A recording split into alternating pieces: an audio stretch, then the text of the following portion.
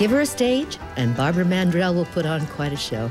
After 40 years in the spotlight, she remains one of America's most talented performers, and the heart of her success can be attributed to one thing family.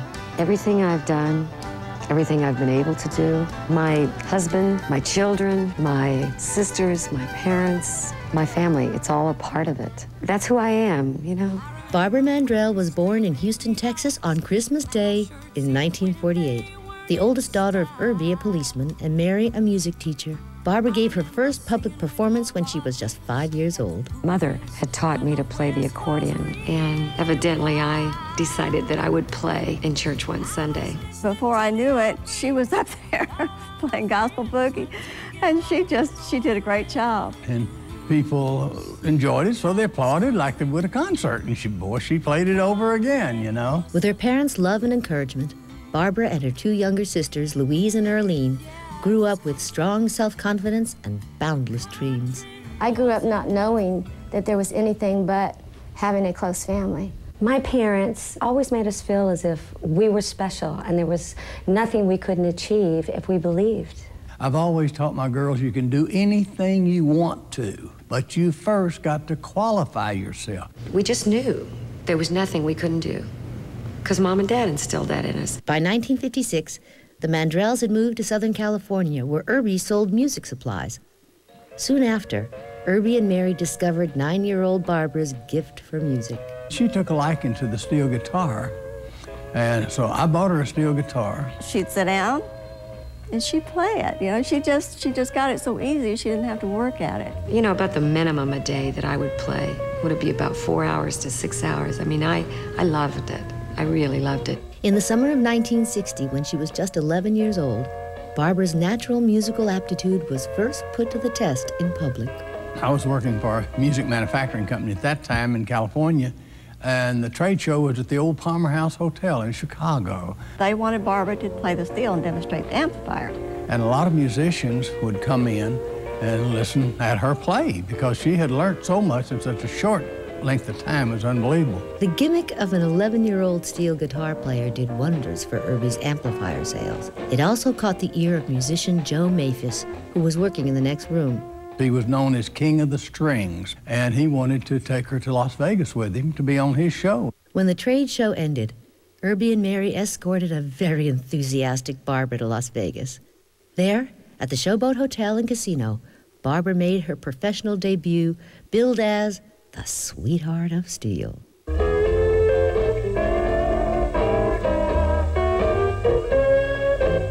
When Barbara returned to California, she began performing on a local LA TV show called Town Hall Party, and later on NBC's Five Star Jubilee. We never uh, really pushed Barbara. We never planned her career. Everything she did, it just opened up something else for her. In December of 1961, Barbara was invited to join a touring show starring Johnny Cash. Playing alongside some of the top names in country music, she quickly became known not for her age, but for her musical skill. When the tour ended, 13 year old Barbara continued to perform on Town Hall Party, adding the saxophone to her many talents. But when the show was canceled, she was suddenly left with no outlet for her music. There was nothing else for me to do in Los Angeles, and my father felt you know, that he just had to provide some means for me to be able to continue because I loved my music so much. And so my dad put a group together called the Mandrell Family Band, and he played rhythm guitar and sang and, and emceed it. My mother played bass. We hired a guitar player and we hired a drummer. Because Barbara was underage and could not play in nightclubs, the Mandrell Family Band performed exclusively at military bases. Determined to showcase his daughter's exceptional talent, Irby became the guiding force in Barbara's life and career. When you walk out on stage, you got to own it.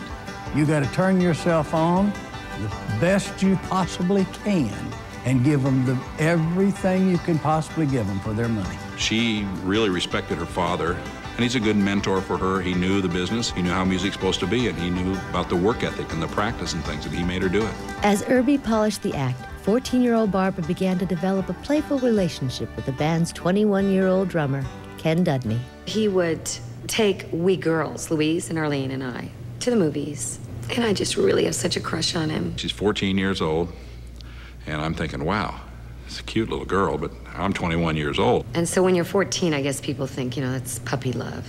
And he had had uh, his birthday, and he said, I think I need a birthday kiss. I was always joking with her, you know. Well, when are you going to give me my birthday kiss? And my heart was just, oh, oh I hope he kisses me. I can't wait. And it didn't happen. I was so sad. So, anyway, I baked him a birthday cake. When I saw the cake, she'd put on it Happy 22 TH. And when I gave him the cake, he laughed, you know, really laughed. I said, What? I mean, it's not a good looking cake, but it's not that bad. And he says, Happy 22th birthday. It's ND, 22nd, not TH. I started laughing a little bit about it, and she, she got her feelings hurt. I was so embarrassed, you know, that I couldn't be grown up enough to know. So I kept joking with her, when are you going to give me my birthday kiss? How about my birthday kiss? And she says, right now. And she just come flopped down on my lap and planted this kiss on me. And I'm going, whoa. The senses were so explosive. I mean, it, that man can kiss. By the time she was 16, Barbara had grown into a radiant teenager and was even crowned Miss Oceanside in a local beauty pageant. But music remained her first love, and she excelled at it like no other. When she was 16 years old, she was probably rated one of the top five steel guitar players in the world. She was a genius, and I think she still doesn't understand how great she really was. As Barbara and Ken's love blossomed, they secretly began to discuss a future together. We didn't want people to know that we were going together, that we were in love. We talked about the possibility of getting married sometime, you know, in the future. We knew we couldn't be engaged because, you know, I was like a sophomore in high school and my parents would never believe that I was going to graduate. In October of 1965, Ken quit the band and moved to Florida, where he began training for a career as a naval officer. His absence marked a major turning point in their relationship. Unbeknownst to me, he designed and had made a wedding and engagement ring for me. She wanted to have them so she could have them in her possession. I said, no, you cannot have these. Oh, I wanted that engagement ring so badly. I really, really wanted it. Because we knew we were going to get married. I begged him, just let me keep the engagement ring. I'll keep it hidden. Well, I won't wear them. You know, I just want to have them. And so that's, I went to the safe deposit box and I got them. And I gave them to her, then I left town for a long time. And I kept it in my drawer. And I would sleep in it at night. And then I would put it away in the morning. Well, one morning, I just got uh, lackadaisical about how I did it, I guess. And uh, my mother found it. Her mom found him and got a little upset about that, thinking she was going to get married and all that. But, but we weren't. My mother and father, no matter what I'd say, they wouldn't believe me, you know, that I would wait. I didn't think that anything serious should happen, and we just kind of stepped between and said, hey, y'all put this off. Now's not the time. They, they forbid Ken and I to talk to each other on the phone or write each other, nothing. Miserable without Ken, Barbara began to focus completely on her music. In 1966, when she was 17, she recorded her first single, Queen for a Day, on an independent record label. Later that summer, the Mandrell family band traveled overseas to entertain U.S. troops in Vietnam.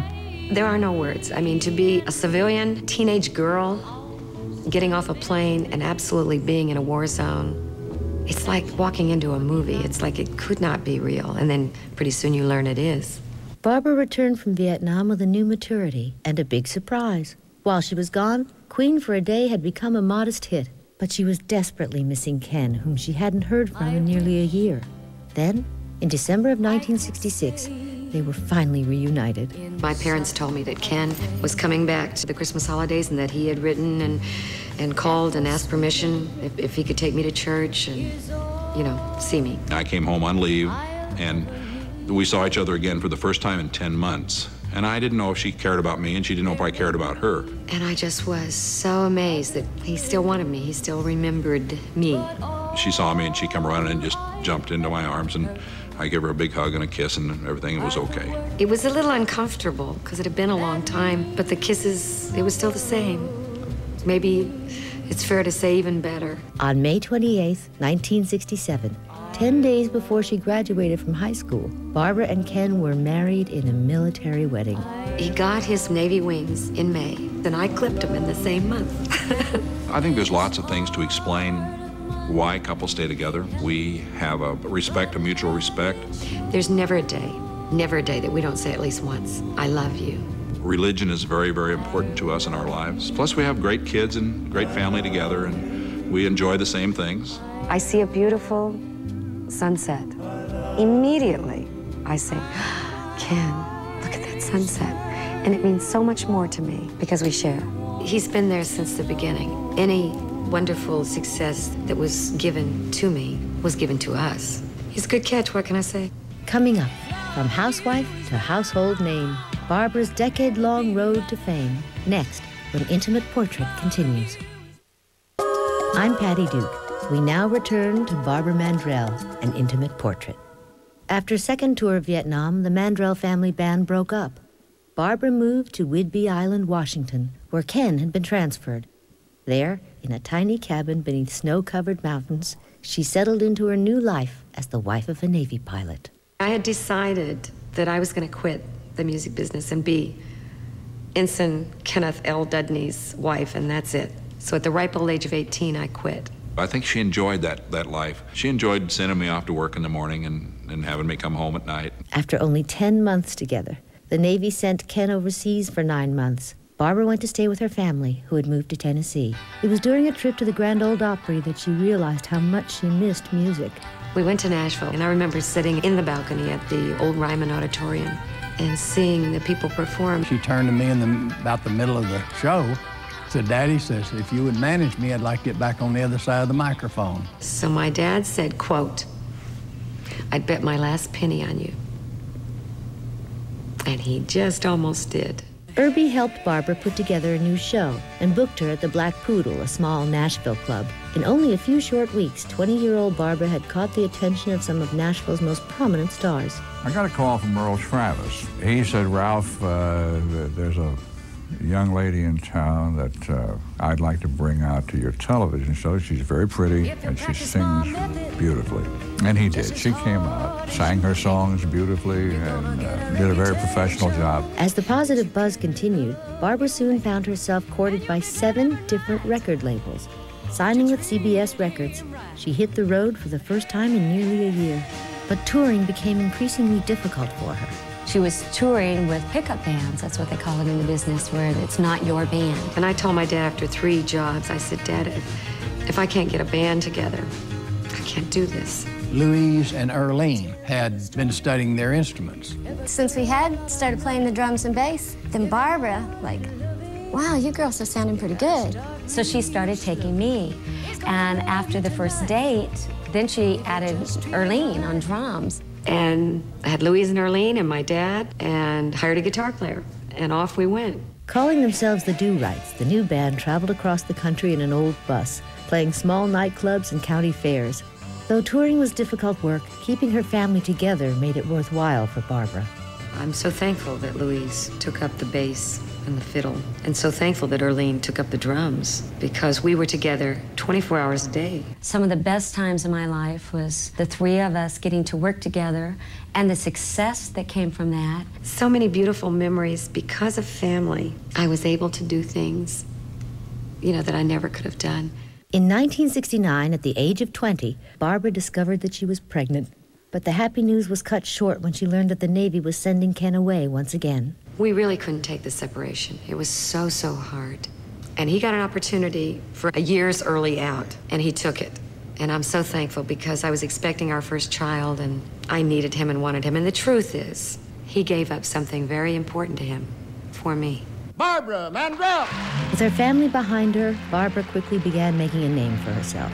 Despite her wholesome image, she sang candid songs about sex and infidelity, subjects typically reserved for men. That call was from the office, and I guess I'll have to burn the midnight oil again. The first number one song she had was a song on Midnight Oil. Up until that time, I don't think any female had ever put out a song in the country field where it said that she was going to go out and cheat. I watch him in the mirror as I lie to him. I don't know how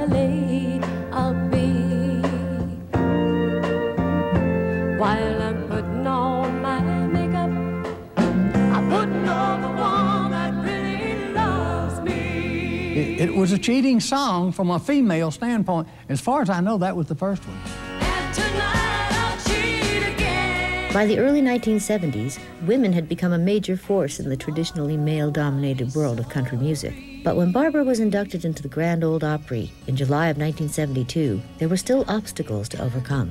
The Opry is one of the things I'm most proud of. But I remember that when I was asked to become a member, I asked the question what must one do to host a segment of the Opry, which is a half hour portion? And I was told, you must have gained enough status and you must be a man. And then Dolly Parton headlining, Tammy Wynette headlining, Barbara Mandrell headlining. I mean, it didn't come easy, but it got to where the popularity and the status and the ticket sales, you could. That's major. So pack your rusty razor. I definitely think it is a, a lot easier for women uh, these days to, in music because I think it was really a man's world back in, in her era. And I think that uh, for a woman to be so successful as she was, that was a big, big achievement. By the time she was 27, Barbara's records were climbing the charts. With her two children, Matt and Jamie, in tow, she continued to tour, gathering new fans across the country. And at the center of her growing success were the two greatest influences in her life. She would not have made it without my father and my grandfather. They were both her backbone, they still are. My father was a tremendous businessman with wonderful common sense and tremendous judgment uh, and wisdom. He ran a taut ship, and therefore, I was influenced by that. I'm sleeping single in a double bed. At the age of 30, Barbara's career had really taken off. Her song, Sleeping Single in a Double Bed, was a number one hit, and she soon became known as one of country music's hardest working performers. I remember it was a slow process getting there, but all the way, it was a university for me. And I always competed with myself every year when I put a new show together. I, I wanted to be better than Barbara Mandrell was. My group, the Do-Rights, felt the same way. So it really, it drove us hard, really hard. The winner is Barbara Mandrell. In 1979, Barbara was named Female Vocalist of the Year by the Country Music Association. The honor made her an instant celebrity and brought her to the attention of NBC, who approached her to star in her own musical variety series. I really didn't want to do a weekly variety show, but I did it because it was my sisters and I. And that's a beautiful thing. And the winner is. Thank God for this little girl, Barbara Mandrell. During the year long negotiations with NBC, Barbara was once again recognized by the Country Music Association, this time as Entertainer of the Year. The day after the ceremony, Barbara boarded a plane for Hollywood, destined to win the hearts of America. I really am the oldest of the Mandrell sisters. Um, I'm five years older than Louise, and I'm seven years older than Irlene. I'm 19, she's 14, and she's 12. 19! Effectively mixing country, pop, dance, and comedy, Barbara Mandrell and the Mandrell sisters debuted on NBC to enthusiastic reviews. The program became an instant hit, showcasing the three women's talents and catapulting Barbara to national stardom. The average American public loved it because it was wholesome, it was fun. Barbara could dance, and she worked very hard on that show. Golly, what have you got there? It's our fan mail. 40 million people a week watched our show, average. I felt pretty secure that, that I was a name, but I had no idea. It was unbelievable what it did. Barbara's career just skyrocketed when she was on TV because people could see her every week. They loved her, and her record sales went sky high. The best of strangers. If anything, it elevated her to huge heights. And it was, it was pretty exciting, a lot of fun. S- Soon found out it was a tremendous amount of work. You see, Louise and Irlene and I were not actors. We were those three people. So every word we spoke, everything we did, it had to be what felt right for us. So I began writing. As Barbara took on more and more behind the scenes, the series began to affect both her family and her health. I think that I was averaging of working 16 hours a day. Mom would come home so tired, and she would just lay there and, you know, watch TV with us or um, study whatever she had to study. It took a whole lot of time. So anytime we did get to do anything as a family, it was real special to do. There wasn't a lot of time to spend with her, but seeing her and seeing what it brought her and the success, it was everything that she had worked for. By Christmas of 1981, the strain of doing a weekly variety show had taken its toll. Suffering from extreme exhaustion and barely able to speak, Barbara began seeking professional medical help just to keep going. When Barbara started getting sick, we knew it was serious. I mean, I'd be like this. It was just. And I was almost every week that we had to do that show. So she would take cortisone shots to relax that muscle so she could sing the songs. And I was told by my throat specialist talking is even worse than the singing on your throat, and you're nonstop. He said, if you continue to do what you're doing now, it will be vocal suicide and you will do irreparable damage to your throat and your voice. You'll have no career. So, after two years, I had to quit the show. The shame was we were very successful on the ratings at that point. I loved everything about it except I physically couldn't take it anymore. Barbara Mandrell and the Mandrell Sisters would be the last successful musical variety show on network television.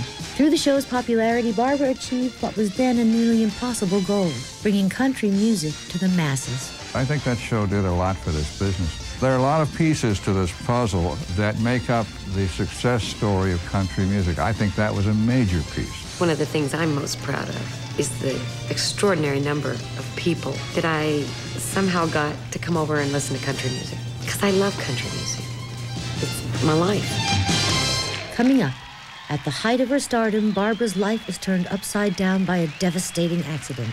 Next, when Intimate Portrait returns. Want to stay one step ahead? Don't miss the next new ad. Now return to Barbara Mandrell, an intimate portrait. The winner is Barbara Mandrell. In 1981, Barbara became the first artist to be named Country Music Association's Entertainer of the Year for two consecutive years. And I love you so much for this. It's wonderful. In 1982, she won three People's Choice Awards and would go on to win six more. At the age of 34, Barbara had become one of the most popular performers in America. We could tell the differences of the concerts, the attendance. She was the hottest thing going. The nine People's Choice Awards, that's, that's the Gallup polls. I don't think any of that would have happened for me had it not been for our television series. In 1983, Barbara put a new act together for Las Vegas. Like her TV series, The Lady is a Champ show featured Broadway style production numbers, elaborate sets and costumes, and Barbara's high energy performance. Barbara is one of the most exciting performers I've ever seen. In fact, I always admired how she could do so many things, move around the stage so much, and still manage to have breath enough to sing. She's extremely talented. She can just play anything, sing anything, do anything, and people just love her. Barbara was living a charmed life. Her new show was a smash hit, her singles were consistently topping the charts, and her family was happy and healthy. Everything was perfect. But on September 11th, 1984, Barbara's life was turned upside down. Mom had picked us up from school that day, and we went shopping for my great grandma. We were headed for home, and at a stoplight, we saw a tailgate down on a station wagon with little children playing in the back of it. I said, Mommy, you know, look how dangerous that is. Those kids could fall out. God knew what was coming. And we saw this, and I uh, told my children, I said, you know what? Let's put on our seatbelts, and then we know we'll be safe. In less than 20 minutes, headed for home, we were hit head on. Mandrell and her two children were returning from a shopping trip when the accident as though occurred. the driver of this other car veered across the center line and hit Miss Mandrell's Jaguar head on. I remember um, seeing my mom hugging the steering wheel and moaning. And I remember thanking God that my mom was moaning because I thought she was dead. Police continue to question the circumstances surrounding the accident, which killed 19-year-old Kevin Miss White of Mandrell Lebanon. was taken to Baptist It was his Hospital, where late reports list her in serious condition. Baptist hospital Her officials say they're met- averaging one call a minute from fans all over the country. We were taken to one hospital, and then she was transferred to a different hospital. She was so badly injured that they were all very much concerned with her well being. She's in pretty serious condition, but she really is the old saying out of her head. She was just out of it totally. She didn't know where she was. She was in the cardiac care unit, a, a totally separate little room, hooked up to all kinds of tubes and hoses. I had broken ribs, broken toes, uh, broken ankle. My ankle was broken in five places down in the center of the ankle. Most of all, I had a really serious head injury. Because of the head injury, Barbara was constantly cussing like a sailor because she, she didn't know who she was or anyone else. I was able to go in and see her, but I found out she didn't know who I was. She saw me walk in the door, and she just, uh, she just threw me out of there real quick. Yeah, she was pretty crotchety. She was screaming, and I could see her just losing it. And I didn't know at what point she would get to and not be able to bring her back. You know, it just, uh, it was just so scary. Almost immediately, the word of Barbara's accident spread throughout the city. We were devastated when we had heard that Barbara had the wreck. First of all, nobody really realized how severe that really was, not even me. The people really, really were, were interested. There was sacks and sacks and sacks of letters sent, flowers. Some fans bought a giant billboard that was positioned so it could be seen from her hospital window. You heard earlier this week about Barbara Mandrell being involved in a serious car accident. Ken and I thought it over, and we decided to play it down just as little as possible. We just didn't want everybody to know how serious she was. She'd been alert, talking to us and everything, doing therapy and the whole thing. But there was something that still wasn't right. One time I was saying something about the kids. The kids really want you to know they're doing okay. And she's like, kids like my show. And we think that she thought that they had gotten killed. I walked in and she came and she said, Come sit on the bed beside me. And I went and I sat on the bed. I, she never said my name. She was alert, she would talk to you and everything, but there was an awakening. 14 days, there was an awakening. After two weeks in the hospital, Barbara returned to her home, but her suffering had only just begun. I had trouble just existing. I, you know, I never contemplated suicide, but but I didn't want to live. Uh, every day was, you know, tomorrow would be just like today the, with the pain, and it was never ending. And I just, I just wanted to make her go away. She would get adhesions in your legs. She would have a therapist come in every day, and she would have to bend that leg and break those adhesions every single day. It was tough, but she had to go through that therapy. Though her body was slowly healing, Barbara's head trauma and nonstop pain resulted in a frightening change in her personality. I would stay in my bedroom, and I, we had blockout drapes. I wanted them closed. I would open the curtains, and she would yell and scream and throw things, and they were on electric switch, and she'd flip that switch back and close those curtains. Maybe I'd sleep for, for three or four minutes, maybe I'd sleep for an hour because of the pain. So the TV was my company, but I didn't want any of the outside world, just my bedroom. And it would be dark and dungy and horrible in there. You know, nobody wanted to be in there with her. I truly became a totally different person. Um, I, I, spoke of myself in the third person. Um, I knew, no shadow of a doubt, never, there is no way I would ever, ever perform music again. That was her, this is me, that kind of thing. It was terrible, you, you know, and she wasn't herself at all.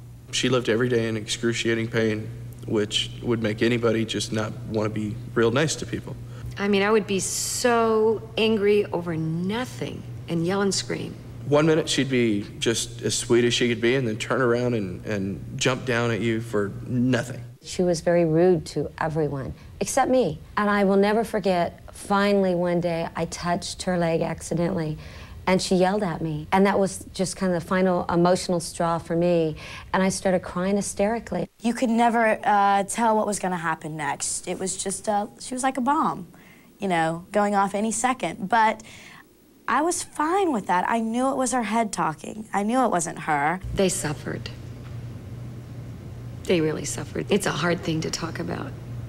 Even after all these years, it's a hard thing. You know, I've apologized to my children, to my husband, um, for the yelling and screaming and the way I acted. And, and I told him, I know you know that um, I was unaware. It wasn't really me. I know you know that, but I just, I just want to tell you how sorry I am. Six weeks after the accident, rumors were spreading that Barbara's condition was worse than anyone had thought. She needed to make a public appearance to let everyone know that she was physically okay, because there was rumors that she was deformed. There was rumors, you know, that she had scars on her face, and she was still as beautiful as she always had been. I says, we need to stop that story.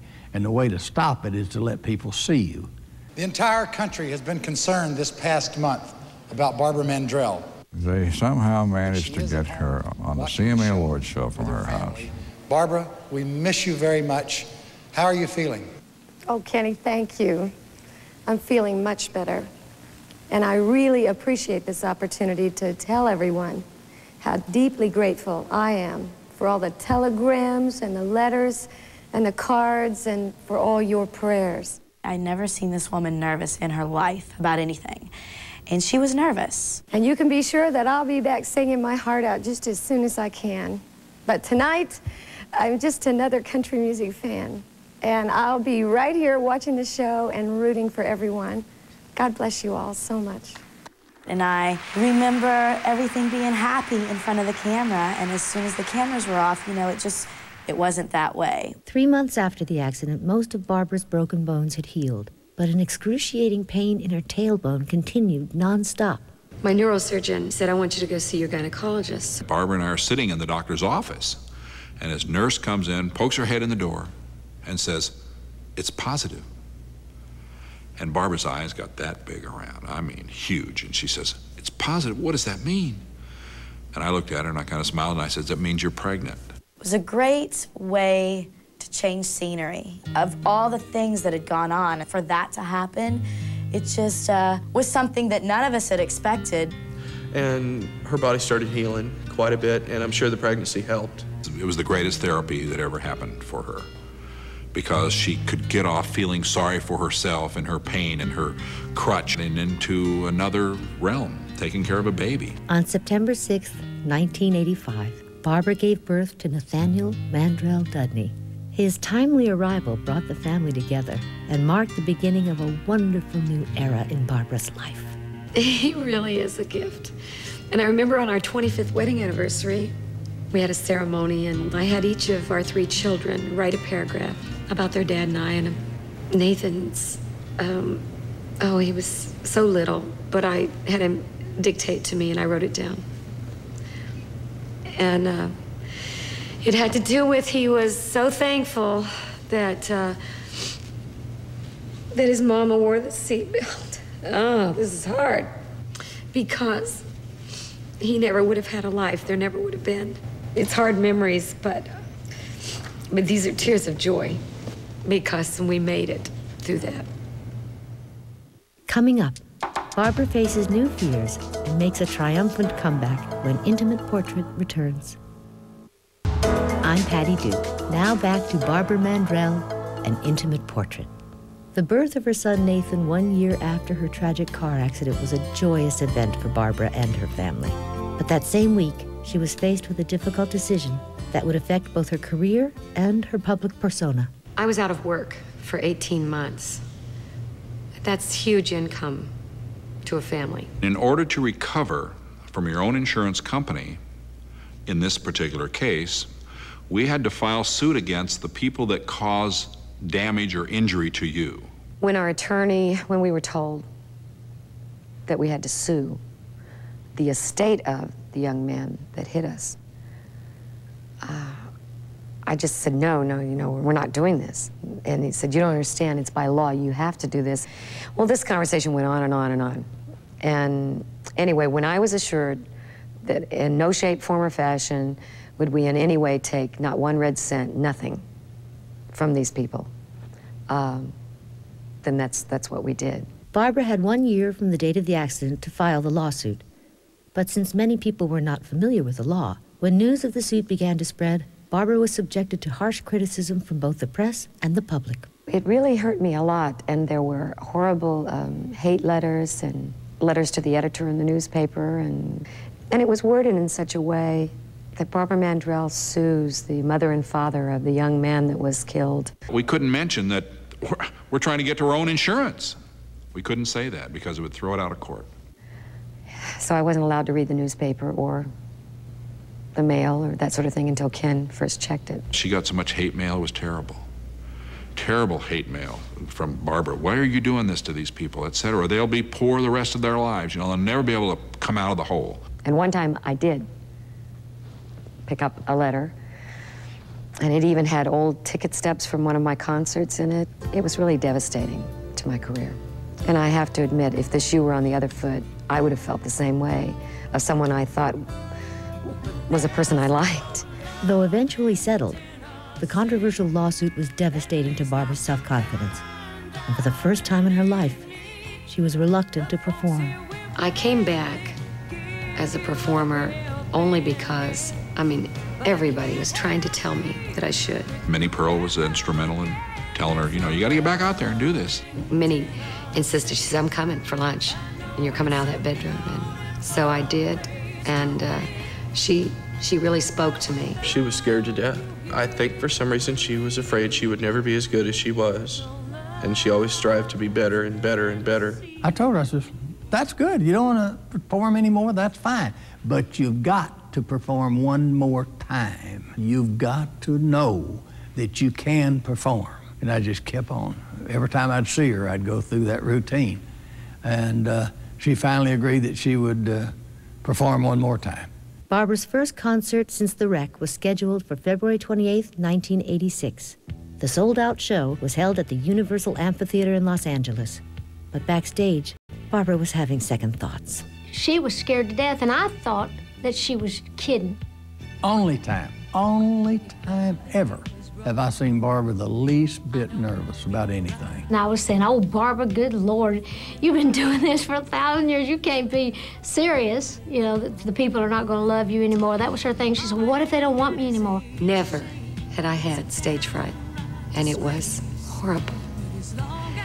Horrible because I would, I would cry, I would shake, I would get sick at my stomach. I, it was just horrible.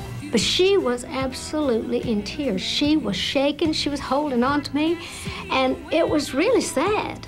But, you know, as soon as the lights hit her, she was just fine. Barbara's comeback concert was a triumphant success and managed to bring back the confidence that the accident had taken away from her. With renewed excitement, she took the show on tour, playing to sell-out crowds. And little by little, she began to recover from her head trauma. I don't remember the crash, and I don't remember a lot just after. And there are even memories from the past that I've lost. And as people start to talk about them, I start to remember. Barbara's life and career were finally back on track. But to complete her healing, there remained one thing that she wanted and needed to do. I love performing. Always have, always will. But this could have been my last performance. My children, Matt and Jamie and I, were not safety belt users. But minutes before this crash, we put them on. Experts say that we would have been killed without them. I share this with you out of love. Please buckle up. You may never get another chance. Coming up, Barbara makes the most difficult decision in her career. Next, when Intimate Portrait continues.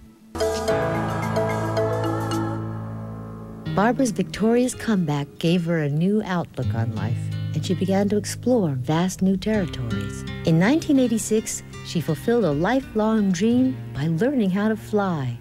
In 1991, her autobiography, Get to the Heart, became a New York Times bestseller. And though music was still in her heart, Barbara began to focus her attention on a different career path. I'm going out living. Do you hear me? Not dying, living. I guess it just didn't occur to me to, to want to act. And I loved it so much. And I'd been in music, you know, since age 11. I wasn't tired of it. I wasn't bored with it. But I felt so challenged by the acting and so excited about it, like a kid again. And I feel like I, I don't know so much at all. And it's neat to be learning. You'll never know. In a move that shocked the music community, Barbara announced in October of 1997 that after 38 years as a musician, she was quitting to pursue acting full time. On October 23rd, she performed her final concert at the Grand Ole Opry. Barbara Mandrell and the Do-Rites, The Last Dance. It was the end of everything she knew for such a long period of time. Well, it was real emotional. I was real happy for her, but sad in a way too, because I knew that I wouldn't get to watch her perform anymore. No. If you'd never seen her in concert before that night, you would be convinced that that's what she was born to do. She was born to get applause. She was born to, uh, to speak and sing and entertain. It's just what God made her for. Today, Barbara lives in Nashville with Ken and Nathan. Her son Matthew lives nearby and works as a chef. Following in her mom's footsteps, Jamie is an accomplished New York actress. Though no longer singing, Barbara has committed herself fully to her acting career and her beloved family. I've been really blessed with a, a very loving, supportive, terrific family. The best part of our life together probably is our children. They're the greatest uh, crown that we have. You will have never met, never, more polite, more respectful, more caring of others person. Never. And for that, I'm very proud and very, very grateful. You know, I'm like I'm like other mommies. I I love my children. A lot of people ask me, aren't, aren't you proud of your three girls? And my answer is, of course, I am proud of them.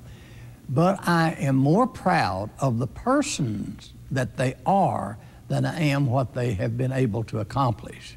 Irlene has a new career as a race car driver. And continuing in the family tradition, Louise performs eight shows a week at her own theater in Pigeon Forge, Tennessee. My sisters and I are as close as you could possibly be, and it's almost so close that some people go, oh, brother, it's sickening, but we love each other. I guess the best way to describe us as individuals is as colors.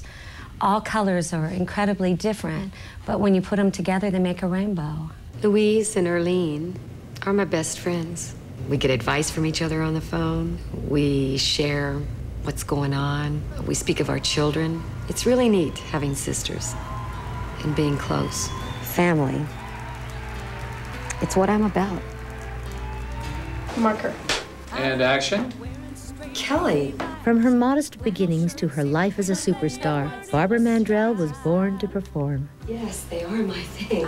of course they are. Let's cut. And no matter which of her many talents she chooses to focus on, she will always have a place in the spotlight.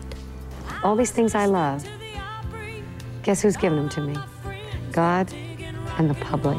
And I just love them so much for it. I was country when country was uncool. It's a, it's a good life. We've got an intimate portrait just for you. Tomorrow, actress Donna Mills talks about her life. Then on Thursday, it's another chance to meet country star Barbara Mandrell. And Friday, it's Cyndi Lauper. Intimate portrait only on Lifetime, television for women. Whenever there's danger, there's romance. Hear the real story of how the starlet tamed the tough guy. He said, We'll have a lot of fun together. Hardy har har, little did he know. Intimate portrait, Lauren Bacall.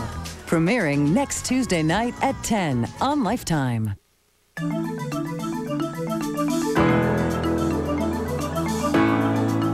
I'm liking this intimate portrait Tuesday night premiere already. How about you? Don't forget to catch Lauren Bacall next week. Stay tuned right now for info to simplify your life on New Attitudes next. And stick around later for fun in the Florida sun with the Golden Girls, coming up on Lifetime.